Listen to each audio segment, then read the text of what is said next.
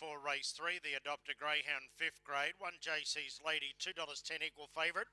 Two Aerial Dynamite, seven fifty. Three Little Live Wire, three eighty. Four Watch Me Wiggle at twelve. Five La Bamba, six fifty. Six Chances, two dollars ten equal favourite.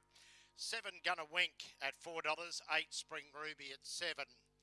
Equal favourites, the one and the six, JC's Lady and Chances. All just about trapped. Light. Racing now, chances out wide began fast, showing speed. There was Gonna Wink. Going over behind them was JC's Lady trying to get to the outside. Up handy was Aerial Dynamite. La Bamba pushing through. It's La Bamba going to the lead with chances. Checked out of it then was Spring Ruby. Into third spot, Little Live Wire. JC's Lady to the outside, but La Bamba broke clear. Got away from chances and La Bamba. One from a photo. Chances, JC's Lady and Little Live Wire. Followed home then by Gonna Wink, Aerial Dynamite, Spring Ruby, and Watch Me Wiggle.